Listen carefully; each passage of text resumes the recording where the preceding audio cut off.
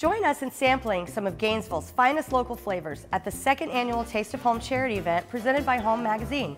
Taste of Home will be Sunday, June 5th at the UF Hilton. Come and kick off the summer season as we feature the area's tastiest restaurants. Don't miss the wine tasting featuring over 400 wines from around the world and our Iron Chef competition between three of Gainesville's finest culinary masters. Proceeds will benefit the Children's Home Society of Mid-Florida, the Child Advocacy Center of Alachua County, and Tyler's Hope for a Dystonia Cure.